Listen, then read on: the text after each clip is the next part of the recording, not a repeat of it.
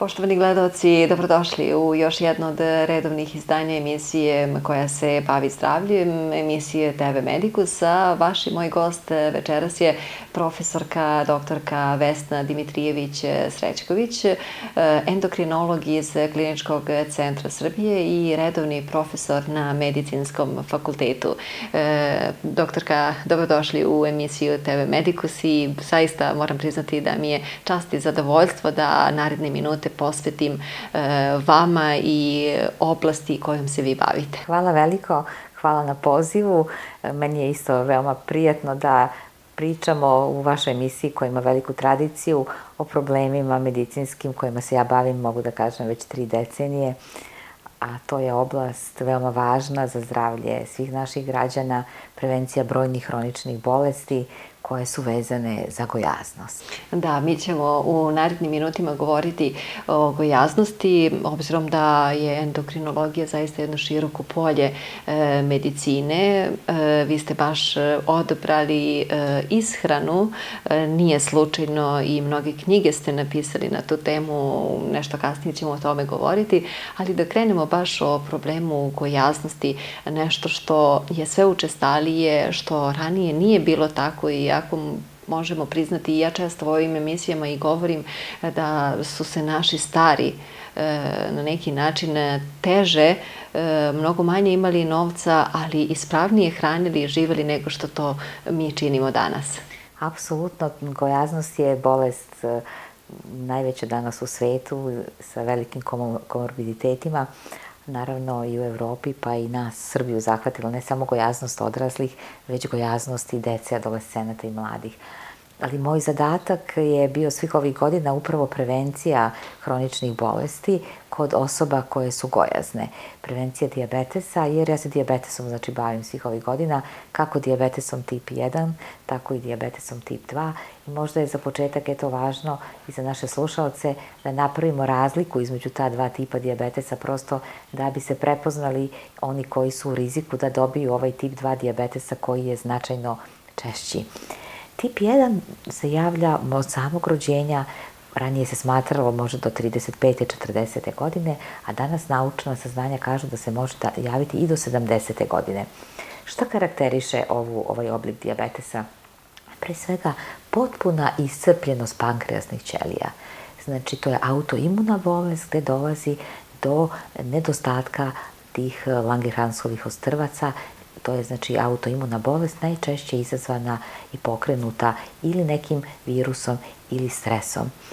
Dakle, dolazi do istrpljenosti i u takvoj situaciji kada pankreas više ne luči insulin da bi se opstalo, da bi se živelo, neophodno je uvesti insulin.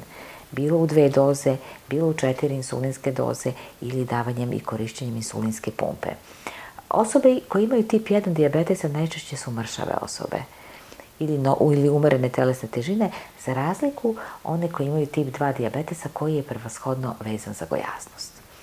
Znači, ja radim i lečim tip 1, ali se bavim prevencijom tipa 2 i lovim sve one ljude koji su gojazni da im pomognem i uhvatim možda neku predfazu pre nego što oni dobiju diabetes. A šta je ta predfaza? Pa to je recimo ako vi uradite u laboratoriji i otkrijete da vaš šećer recimo 6,1 mi ne smemo da zažmurimo na vrednost 6,1, to je već znak da mi moramo da uradimo test opterećenja šećerom. Kako se to izvodi? Pacijentu se da da popije 75 grama šećera rastvorenog u vodi i mi onda merimo vrednosti šećera na, na određene intervale, recimo 0, 30 i 120 minut. Ali dovoljno je za ovu priliku da kažem 0 i 120 minut. Ako dobijemo dve vrednosti preko 7 jutarnje, mi ne moramo da radimo test to je već novo otkriveni tip 2 diabetesa. Međutim, ako šećer bude manji od 6,1 u nultom minutu, a u drugom satu manji od 7,8, govori se o običnoj gojaznosti. Ta obična gojaznost može da pređe i u prediabetes, a to je onda kada šećer u nultom minutu biva između 6,1 i 7,0. U to, tu razlikujemo dva oblika, blaži i teži. Blaži se zove povišena glikemija našte i njega karakteriše da u drugom satu šećer je ispod 7,8. A ovaj teži je intolerancija na glukozu ili latentna šećerna bolest, tu je šećer u drugom satu između 7,8 i 11,1, znači približava se onoj vrednosti preko 11 kad možemo reći da je već diabetes. Znači, ako dobijemo preko 11,1, to je već diabetes tip 2 ili dve jutarnje vrednosti preko 7. I vidite, veoma interesantno da kod naših pacijenata, kad otkrijemo taj prediabetes, da mi možemo pravilnom ishranom i fizičkom aktivnošću uz odgovarajuće lekove, da mi možemo da tog pacijenta redukcijom telesne težine uvedemo u stanje da iz prediabetesa pređemo u normalu. Pošto ja tri decenije radim ovo, znači ogromne su baze podataka mojih, možda imam bazu vezano za prediabetes u Evropi najveću, da ne kažem u svetu. Znači, jer to, ceo život sam posvetila tome. I šta je interesantno? Interesantno je da ti 30% pacijenata koji su smršali, oni su iz prediabetesa prešli u normalu. Onih 30% koji su se ugojili, oni su iz prediabetesa prešli u diabetes tip 2. A preostalih 33,3% su još uvek na klackalici i imaju šansu, još uvek su u prediabetesu, imaju šansu ili da pređu u normalu, ili da odu u diabetes, ili da još neku godinu budu u prediabetesu. Tako da je to veliki izazov. Ali znate šta ću vam reći iz kliničke prakse? Nekad nam ni ta, ta vrednost 6,1 nije, nije merilo da li mi trebamo, e, da, da, da mi trebamo da radimo test. Tad sigurno već moramo. Ja ću test uraditi svakoj osobi koja ima stomačić i koja ima stomačnu gojaznost. Zašto? Jer često i kad je šećer 4,7 bazno i nikad ne bi posumnjali da taj čovek ima poremeće glikoregulacije, kad uradimo test, ja dobijam u drugom satu test 12,2. I to je za mene iznenađenje. Znači, bazno normalne vrednosti, u drugom satu 12,2 i moja završna dijagnoza glasi diabetes mellitus tip 2, novo otkriveni ili de novo, novo otkriveni. A recimo, doktorka, da li su e, ti pacijenti ranije e, radili laboratorijske pretrage, analize bile kod, leko, e, kod lekara opšte prakse, svog izabranog takozvanog danas e, ovaj, lekara, pa imali nekakav uvid da je ta njihova laboratorijska slika varirala ili je se to desilo ovaj, dolaskom u vašu ordinaciju i kako ste rekli, e, pošto prevencija je jako važna, a to obično ljudi shvate onda kada je kasno i mislim da o zdravlju treba da brinemo dok smo zdravi i dok nemamo nikakvih problema. Sigurno. Evo šta ću vam reći, šta mi kaže kliničko iskustvo. Dešavalo se priča da neko kaže Pa eto, bio sam kod lekara i kažem 6, 2, 6, 3 i doktori kažu pa to nije ništa, pa sačekaj dok, dok ne dođe do 7, 8. I tu to ne smemo, tu to je apeli za naše doktore. Mi moramo na svaku vrednost koja je blizu 6, a danas se smatra da više nije granica 6,1, nego 5,6. Da, Svetska zdravstvena organizacija pomera te neke ove ovaj, granične vrednosti. Šta se smatra, znači, e, pa, normalnim kod mene, ili koliko da. E, dana treba da se prati šećer u krvi kao i pritisak da bi s pravom već mogli da kažete da neko ima diabetes? Pa, da ne bi pratili više dana, ja to lako rešavam. Ja odradim OGT test.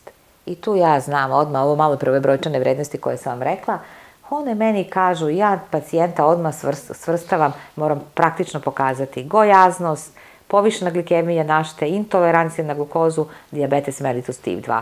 Ova dve varijante su prediabetes, mogu da odu u normalu, mogu da odu u diabetes.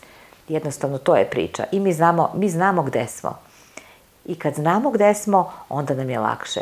Verujte mi, E, imam puno specializanata koji su kod mene iz Srbije, iz Crne Gore takođe i oni su mi pomoćnici u radu i rezultati pacijenata su izuzetno dobri. Čak su i oni zbunjeni pa kažu pa šta je ovo, kaže ovi vaši svi regulisani. Pa ja kažem, znate šta, regulisani su zato što mi dugo radimo na tome. Edukacija je mnogo bitna priča. Znači ja se trudim da mojim pacijentima organizujem edukativna predavanja, na kojima ćemo da pričamo o, dakle, o zdravoj ishrani, o svim principima znači zdrave ishrane, pre svega mediteranske koju ja zastupam, i na taj način ćemo jednostavno da kroz stalno ponavljanje određenih činjenica i motivaciju njihovu, Jer predavanja nisu samo da ispričamo o ishrani, znate. Predavanje je da ja njih na neki način i uplašim koje su sve to bolesti koje su povezane za gojaznost i koje mogu da dovedu iz gojaznosti u diabetes, o kome smo sada pričali, ali i u druge bolesti. Evo recimo šta bi bilo interesantno. Kad radimo taj test, mi pored vrednosti glikemije radimo i vrednost jednog hormona, a to je hormon insulin. Malo pre smo pomenuli na početku emisije da kod tipa 1 nema, nema tipa 1 diabetesa nema insulina. Šta to znači? Kad uradimo jedan pa, marker koji se zove C-peptid, a koji je u stvari C lanac u formiranju insulina, A i B lanac čine znači insulin i C lanac je nešto što C lanac je nešto što je pridruženo i koliko ima C peptida, tolika je naša rezerva.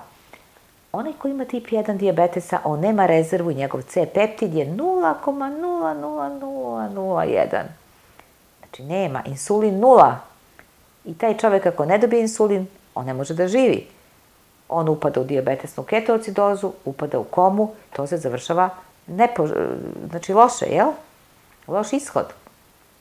I sreće je što imamo insulin. A šta je kod tipa 2? Ovaj koji preveniramo. Ti ljudi imaju mnogo insulina i zato što imaju mnogo insulina, oni dobijaju bolest. Vi ćete se sad zapitati kako je to moguće da neko ima mnogo insulina pa da dobije bolest. Tu je nešto nejasno. A evo šta je zapravo. Što deblji čovek, što veći stomak, to više insulina. Zašto? Jer svaki put kad pojedemo nešto slatko, insulin se luči.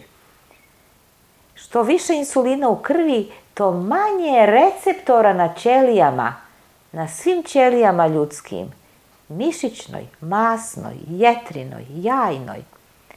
Zamislite tu ćeliju, zamislite tu ćeliju kao jednu, recimo, eto, kao jedan mobilni telefon, koji ima, ima 500 prozorčića malih, malih receptora. A insulini su ključevi koji uključavaju te bravice, te receptore. Čovek koji je gojazan ima toliko mnogo insulina da je taj insulin zablokirao i poništio sve bravice i sve receptore i insulin je, i jednostavno nema receptora, umesto da ih je 500 brava, mi imamo 50 brava. Imamo insulin koji ne deluje. On nema zašto da se veže, ne može da otvori brave i da pusti šećer u ćeliju, da nahrane se ćelije. I šećer se pojavi povišan u krvi. To je mehanizam insulinske rezistencije, odnosno otpornosti tkiva na insulin. Mnogo se taj termin koristi rezistencija, od engleske reči. Dakle, rezistentno tkivo. E to je to tkivo koje ne može da se nahrani šećerom. Zašto? Zato što je insulin poništio sve te brave koje su u stvari ulazna mesta za insulin. A kako su vaša e, iskustva u radu sa, sa vašim pacijentima kada je reč o njihovoj poslušnosti, kada oni dođu, kada im vi saopštite ni malo lepu, ni, ni da kažemo, ovaj, jednostavnu e, vest, informaciju o njihovoj dijagnozi? Vidite, nijedna dijagnoza nije toliko strašna da bi se pacijenti, nikad ne uplašim. Ima lekara koji presude odmah i kažu, ne, ja ih bodrim, ja, ja kažem najpozitivnije. Čak i ako je dobio tip 1 diabetesa. Dobili ste tip 1 diabetesa, pa šta je vama? Pa ne, pa evo ja se obraćam sada gledalcima, svima koji imaju diabetes. Pa diabetes, to je jedan poremećaj samo. To je nešto gde vama fali insulin ako imate tip 1, pa ćemo dodati da bi regulisali. A ako imate tip 2 da prestanete da jedete, da smanjite da jedete pogotovo koncentrovane šećere i da smanjite taj nivo insulina. Kad smanjite nivo insulina, vaši receptori će da ožive, to je suština. I kad radimo onaj test malo prepomenuti, kod mršave osobe, moram vizualno pokazivati pacijenti moji to na predavanjima, najbolje tako prate, nulti minut mršava osoba, insulin 10, u 30. minutu ide na 30, vraća se na 20. Srednja vrednost insulina kod mršavog 20-25. Šta je kod gojazne osobe koja ima metabolički sindrom, a reći ćemo posle šta je metabolički sindrom? Kod gojazne osobe u startu je 30, pa kad je popio onu slatku vodu koju smo dali, sa 30 je otišao na 190 insulin u 30. minutu i u drugom satu se vratio na 80. Srednja vrednost insulina kod svih gojaznih s metaboličkim sindromom iznosi 90 jedinica. Da li me razumete? 90, a ovo je 20.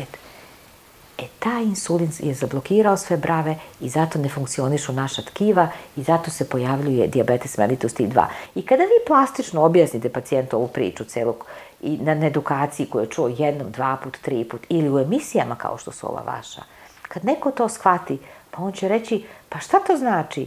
Pa ovo kaže profesorka da svaki put kad sam uzeo Coca-Colu ili Schweppes ili parče čokolade ili parče torte na slavama, svadbama, rođendanima, jer to znači da je moj insulin otišao na 200. Jer to znači da ću ja imati višak insulina koji će meni da zablokira ćelije i ne samo da dobijem diabetes. Insulin je odgovoran za diabetes, ali je insulin, ne zaboravite, odgovoran i za neplodnost. Jer i ta jajna ćelija i na njoj se smanjuju receptori i nastaje sindrom policističnih jajnika. Insulin je odgovoran i za rak i za karcinom. Insulin pokreće kancerogenezu.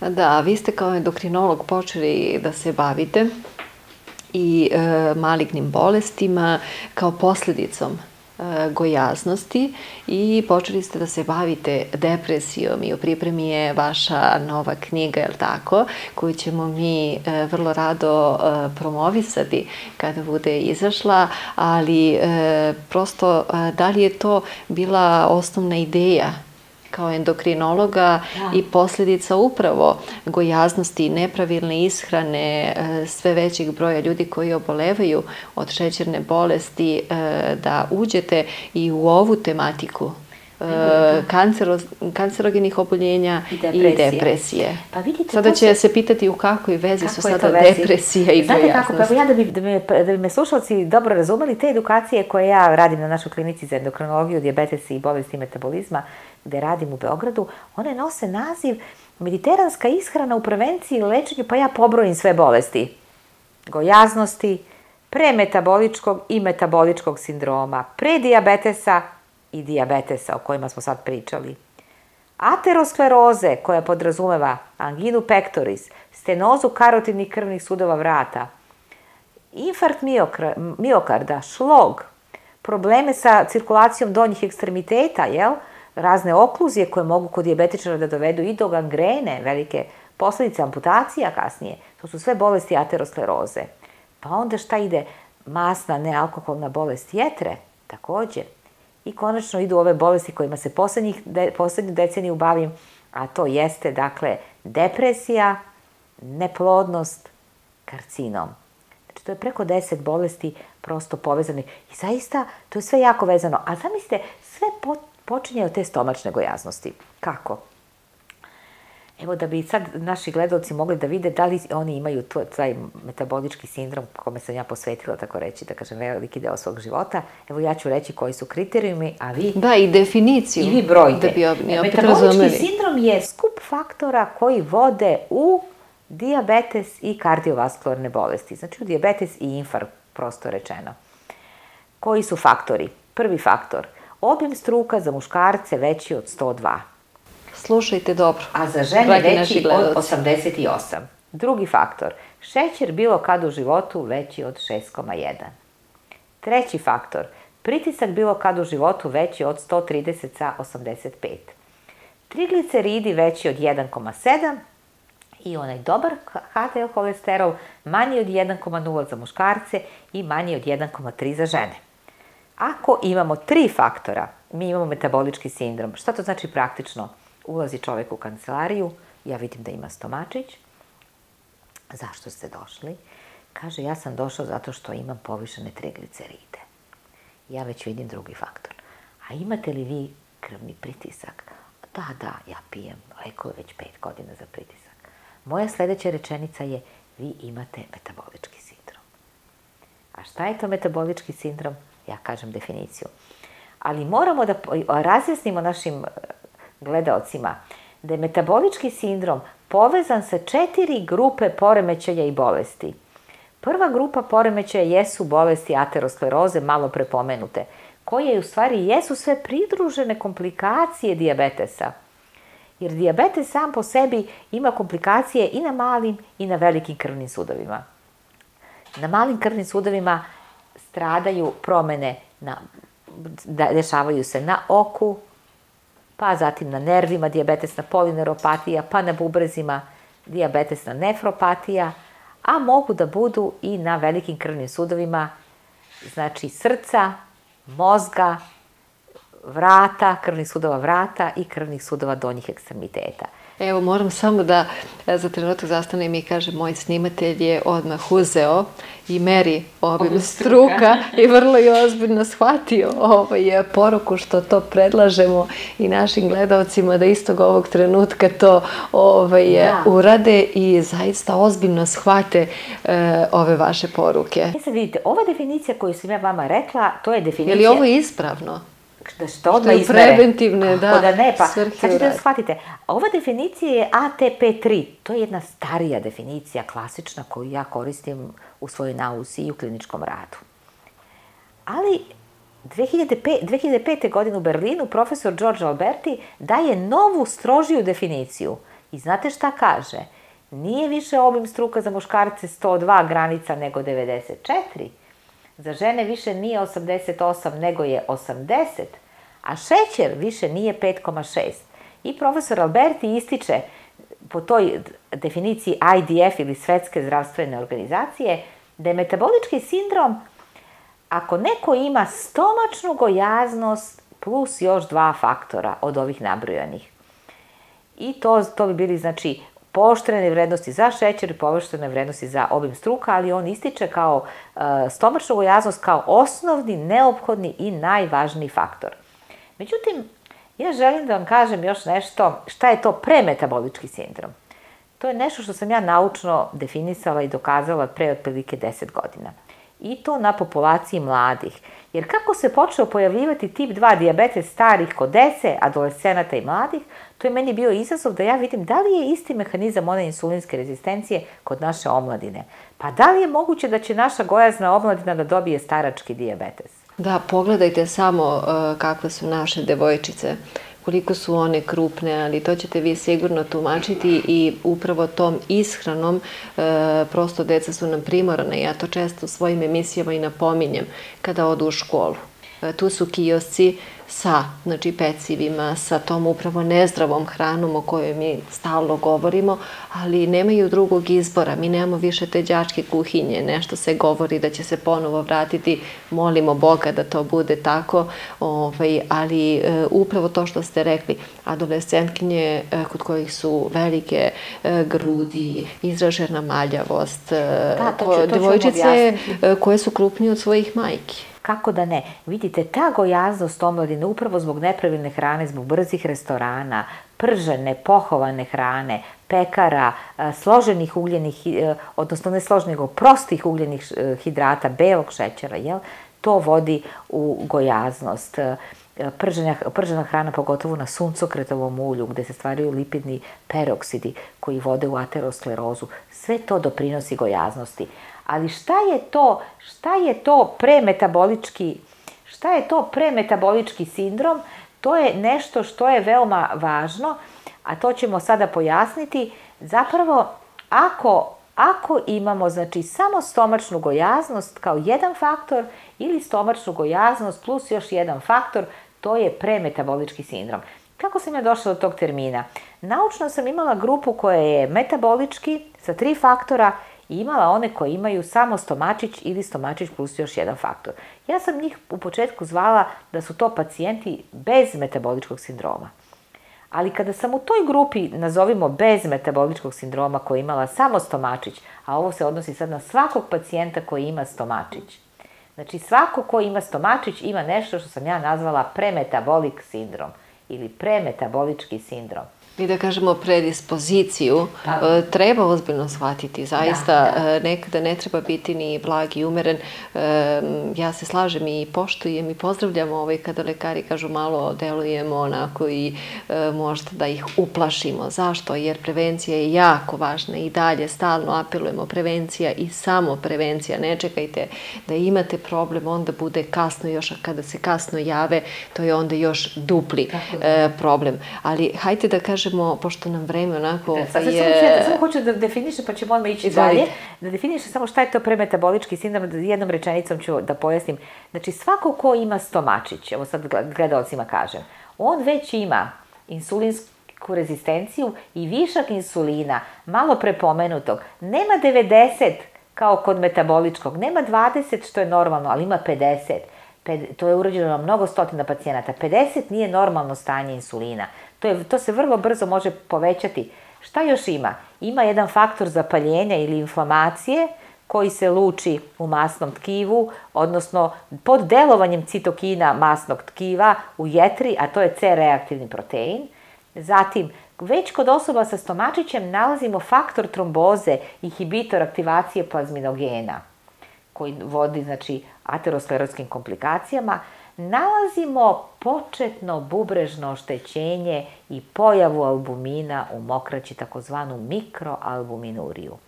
I imamo nešto što se zove smanjena antioksidantna zaštita koju smo mi merili preko nekoliko enzima, superoksid izmutaze, glutation peroksidaze i totalnog antioksidantnog statusa. Vidite li sve ovo pobrojeno, da li nam je to dovoljno da možemo i previše da možemo da kažemo da svaka osoba sa stomačićem ima sve ovo. Zapravo obimom struka još jednom da ponovimo koliki. A, sa obimom još struka, jednom. da kažemo žene većim od 80, muškarcima većim od 94. Ali jel mogu jednu anegdotu da vam ispričam? Izvoli. Evo ovo pričam možda ovako javno. 2007. godine bila sam u Kopenhagenu i prvi put prikazivala svoje rezultate vezano za metabolički sindrom dece, adolescenata i mladih. To je bio svetski kongres, e, e, evropski, evropski kongres EASD. I kada sam ujutru pogledala kome treba da prezentuje rezultate, ja sam videla da je predsedavajući upravo profesor George Alberti, otac definicije, nove definicije metaboličkog sindroma. Ja sam se presekla. Rekla sam, nije valjda da ću ja profesoru Alberti u svoje rezultate da prikažem. A onda sam rekla, pa Vesna, ne boj se, pa ponosno mu iznesi rezultate, pa da vidi da mi u Srbiji radimo, da mi imamo nauku. Kad sam mu ispričala rezultate, on je samo postavio pitanje koju ste vi definiciju koristili za decu i mlade kad ta definicija ne postoji u svetu? Ja sam rekla, našla sam jednu definiciju Cook i saradnici koja je približna onoj prethodnoj, prve vaše ATP3, a on je tada progovorio, divnu ste mi ideju dali, sada pravim definiciju za decu. I sledeće godine u Lancetu pojavila se e, profesora Albertija, definicija za metabolički sindrom adolescenata i mladih. Verujte mi e, na to danas, posle 30 i više godina mog rada, kliničkog i naučnog, s ponosom ovo, ovo pričam. Profesor Alberti je još uvek živ. Svaki put kad se sretnemo, poslednji put to je bilo u Abu Dhabiju, sada prošle godine na Svetskom kongresu, seti se i uvek, uvek ovu priču osvežimo. Šta je poenta priče? Da i mi iz male Srbije nekada možemo svojim upornim, vrednim radom da pokrenemo neke, neke, neki točak nauke i da doprinesemo svetskim tokovima koji su na opšte dobro e, naroda, svih naroda.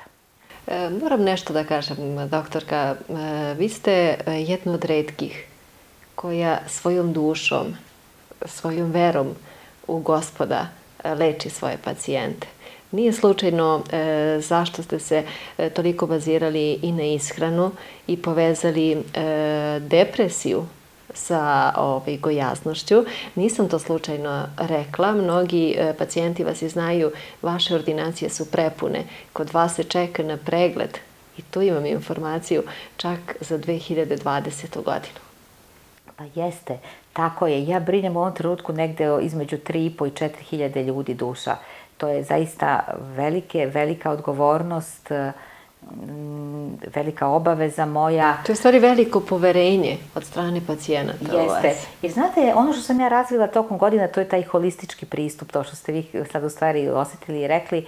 I meni pacijenti dođu zbog jedne priče, dođe mi žena recimo zbog čvora u štitastoj žlezdi, a ja vidim koliko je ona gojazna i da je taj čvor štitaste žlezde jedna periferna priča koju ćemo pratiti, ali da će ona nastradati do 15 godina od infarkta ili od diabetesa sa komplikacijama, retinopatijom, gubitkom vide i tako dalje. A još uvek nema diabetes i ja ju kažem, gospođo, lako ćemo sa tom žlezdom, nego dajte da skinemo ovih 20 kg, dajte da vam ja pomognem da ne dobijemo diabetes, da ne dobijemo masnu jetru, jer masna jetra nije bezazledno stanje. Masna jetra vodi u masni hepatitis, vodi u cirozu i vodi u hepatocelorni karcinom. Ja to moram javno da govorim i glasno da govorim. A zašto depresija? A šta je depresija? A kako depresija? Pa vidite kako. Ja sam, ja sam na tim predavanjima stalno pričala pre dve decenije još, ma postoji neko čudo se luči, neki toksin u stomaku, ma ide u glavu i pravi loše raspoloženje kod svih gojaznih. Ima neka toksična substanca. To je bila neka moja takva vizija. Da bi danas, evo, posle 20 godina znala šta je to. To su upravo ti citokini koji se luče u masnom tkivu. Jer masno tkivo, znate šta je to to? To je jedna kesa masti koju vi nosite oko svog struka. To je jedan novi organ koji je zakačen i zalepljen za vas. To je organ koji je hormonski endokrinoaktivan. A on, u njemu se luče, samo ću pobrojati malo da vas uplašim. Interleukin 2, interleukin 6, tumor nekrozis faktor, inhibitor aktivacije plazminogena, svašta, svašta, svašta.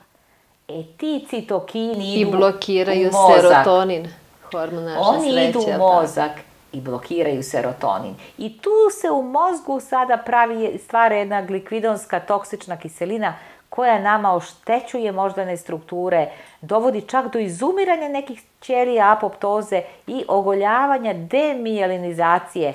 A šta je klinička manifestacija? Jeste loše raspoloženje, bezvoljnost, poremećaj sna, plačljivost, nemanje snage. Šta li mislite, da li naša deca imaju depresiju? Da, i tekako. Pa to Mnogo je bio izazov i pre deset godina ja krenem, a koristim psihijatrijsku skalu Hamiltonovu sa određenim brojem pitanja na koja kad se iskreno odgovori mi saberemo i vidimo ima, nema. Ako ima, može da bude depresija blaga, srednje teška, teška. Naša deca u Srbiji imaju gojazna deca, adolescenti i mladi, 32% blagu depresiju i oko 8% u depresiju umerenog stepena. To su pokazali istraživanja na jednom uzorku nekoliko stotina dece koju sam ja svih ovih godina prikupljala i te rezultate sam prezentovala pre, pre četiri godine na Svetskom kongresu u Vancouveru. To su bili u stvari, da kažem, prvi rezultati možda na kod dece rađeni u svetu. I onda je moja ideja tad bila, pa čekajte, ako mi srežemo stomačić, ako mi skinemo stomačić, da li mi možemo ishranom da izlečimo depresiju kod gojaznih? Sad ne govorimo o depresijama nekim genetskim kod vrša, ima i takvih oblika. Da, to sam htjela samo, Da. oprostite, e, da vas tu prekinem, e, jer će pitati i oni gledalci ili gledateljke e, koje nisu gojazne, a koje zaista se bore godinama sa depresijom, jer mi smo poznata nacija koja baš ima velikih problema sa, sa depresijom, anksioznošću. To je nešto što kažu da već e, 2020. 21. bit će na nekom drugom mestu. Depresija. Jeste. Ali to će biti upravo ova depresija o kojoj pričamo zbog gojaznosti. Mali je procent, procenat onih koji imaju depresiju e, genetsku ili možda, pazite, depresija može nastati i zbog stresa i određenih okolnosti životnih i tako dalje. To stoji. Ali veliki je procenat, znači ja sad ovo kad pričam, ja ovo odgovorno pričam za depresiju koju sam ja proučavala I 2015. godina mog života bila je posvećena depresiji, gde je negde 7 ili 8 radova na medicinskom fakultetu, gde sam ja bila mentor, odbranjeno na temu depresije. To su bili studentski radovi, diplomski radovi, radovi uže specijalizacije, akademski, ra- akademskih studija radovi. Znači, svako je imao svoju neku oblast. Neko je radio kod mladih, neko kod starih, neko je radio lečenje depresije ishranom. I mi smo uspeli... Da, i da li ste uspeli us- Da. upravo ishranom Uspeli. da izlečite ovaj, Tako te je. pacijente da, Da. ne budu podvrgnuti Tako medikamentima? Je. To, je, to su moji najnoviji radovi koji nose naziv Mediteranska ishrana u prevenciji i lečenju depresije. Jedan od radova bio na Santorini konferenciji pre dve godine po Abu Dabiju. Znači, šta je bila kombinacija mediteranskom ishranom, a navodim i hrišćanskim postom. Biće prilike da možda i u nekoj od ran- sledećih emisija popričamo malo više o mediteranskoj ishrani i hrišćanskom postu, ne možemo sve stići u ovoj emisiji. Dakle, da smo uspeli mediteranskom ishranom da skinemo stomačnu gojaznost, a time da smanjimo broj citokina koji idu u mozak, a hodanjem da se poveća lučenje serotonina. Jer kad imamo fizičku aktivnost, kad hodamo, kad vežbamo, luči se hormon sreće, a to dobro znaju svi oni koji treniraju, koji vežbaju, koji hodaju, koji trče, da jednostavno oni bez sporta ne mogu. I kad krenu jednog dana u sport, oni vide sledećeg dana da njima fali ta doza, dakle, tog hormona, da se oni lepo osete serotonina i oni Oni idu da vežbaju. Ne možemo možda svi da vežbamo, imamo ograničenja, ali svi možemo da hodamo. Zato, zato je neka moja par, parola bila nemoj da sedimo ispred televizora, hajde ustanimo, ustanimo iz fotelja, hajde ustanite sada večeras i prošetajte, napravite, neka zadatak bude, na svakom mom izveštaju bude 1 sat hoda brzinom 5 km na sat. Šta to znači? da za sat vremena prođemo 5 km. Možda mi u početku nećemo imati snage i ne mora, neka to budu i 2 km, pa ćemo sledeći dan ići 2,5, pa 3, pa ćemo povećavati i povećavati svoju kondiciju ali ćemo hodanjem znači da postignemo. I samo da povežem za depresiju, pošto su ovi citokini skupa metoda, mi njih ne možemo da merimo svakom pacijentu, ali oni utiču na jetru, a jetra luči CRP, C-reaktivni protein. C-reaktivni protein je meni bio parametar da li će neko da dobije depresiju, da li neko ima depresiju ili ne. Pokazalo znači, se naučno. Ukoliko se uh, povećava C-reaktivni da, protein, imaju, ja? Jeste. Svi koji imaju stomačnu gojaznost imaju veći CRP. CRP je nama rizik da neko dobije i depresiju i da dobije razne vaskularne komplikacije, ateroskleroske, infarkt i druge. A još da se vratim na jednu anegdotu, prosto, eto, mislim da su te anegdote uvek upečatljive. Pre isto mnogo godina, ajde da kažem, negde 13 godina, 2000, pa je 2006. godina, to je već 13 godina, jedan od radova u, u Istanbulu nosio je naziv povišene vrednosti C reaktivnog proteina i smanjen totalni antioksidantni status kod dece i adolescenata. Znači, tada sam ja već kod dece našla sa stomačićem CRP. To su bile nove stvari u svetu i taj rad dobije Hipokratovu nagradu kao najbolji rad Evrope. A koja je to granična vrednost, recimo, baš CRP-a? CRP-a. Pa, Jer, si, ko, obično si... E, lekari znam da prepisuju vaše kolege taj C-reaktivni protein kada sumnjaju baš na neke malignitete, na neke ozbiljnije i uvek kažu uradite CRP. Pa sad ću mi Ma, mali broj, je se slažete vaših kolega koji upravo uradi i traži taj CRP zbog Obično, upravo da, pa ove egojaznosti? Jeste, ne, to ne traže, ali evo zato... Ta, zato to mi je novo da čujem. Ovo je sada edukativno i za, za, za slušalce i da traže od svojih doktora i da sami urade. Zašto? Jer kako sam ja do tog e, došla rada zapravo? Šta je tu i kod, de, kod dece? Meni nije bilo logično. Dete ima dobre leukocite, dobru sedimentaciju, jel tako? Dobar fibrinogen. To su nam faktori, kad skoče ovi faktori, dete ima upalu grla, upalu uha, upalu bešike, to su faktori zapaljenja. I tada skače i CRP. Kad ovo sve skače, u svakoj infekciji skače CRP, ne mora da bude malignitet, možda bude svaka infekcija, možda bude upala pneumonija, možda bude... Da, posebno znači, neki virus infekcije da, ili Bakterijski, baš bakterijski. Bakterijske, bakterijske. ja? CRP skače. Ali kod ove dece nije bilo tako. On, dobri leukociti, dobar fibrinogen, dobra sedimentacija, visok CRP. Ja kažem, odakle ovom detetu CRP? Da bi posle mnogo vremena ja shvatila da je taj CRP iz stomaka od citokina koji su delovali na jetru i jetra izlučila CRP. Znači, CRP je posledica bio gojaznosti, stomačne gojaznosti. Tog visceralnog masnog tkiva koji nije samo taj stomak, nego je to masno tkivo prožeto kroz jetru. To masno tkivo je oko našeg srca.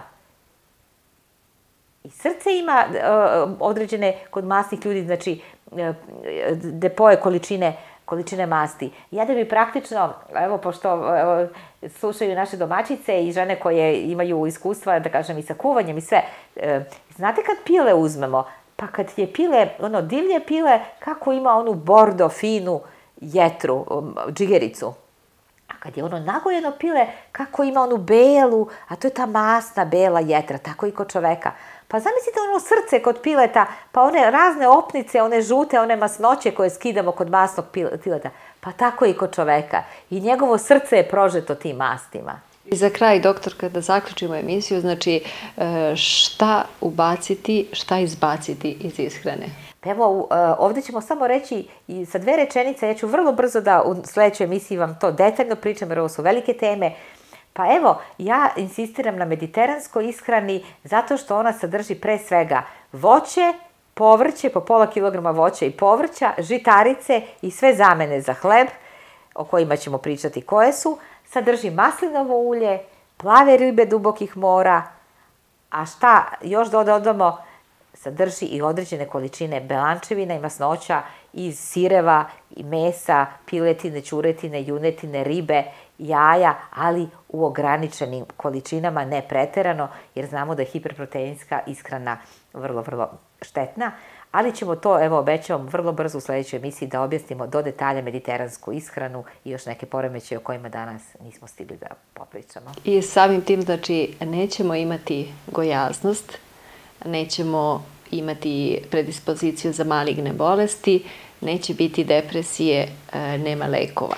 Doktorka, šta na kraju da kažem? Zaista hvala vam na ovim divnim savetima. Mislim da su gledalci e, dobro ovo odslušali što ste vi e, ispričali, e, da će poslušati, zapravo usvojiti i vrlo ozbiljno shvatiti što nam je i cilj i da vam se zahvalimo što ste izdvojili vreme da dođete i budete gosti emisije TV Medikus. Hvala veliko, hvala na pozivu i gledat ću da se što češće viđemo. Hvala vam najlepše. Vama, poštovani gledalci, hvala na pažnji, hvala na strpljenju. Za emisiju TV Medicus e, govorila je profesorka doktorka Vesna Dimitrijević Srećković, endokrinolog iz Kliničkog centra Srbije i redovni profesor na Medicinskom fakultetu. Možete nas pratiti i na YouTube kanalu Danka Spasojević-Simić. Do gledanja vodite računa o vašem zdravlju.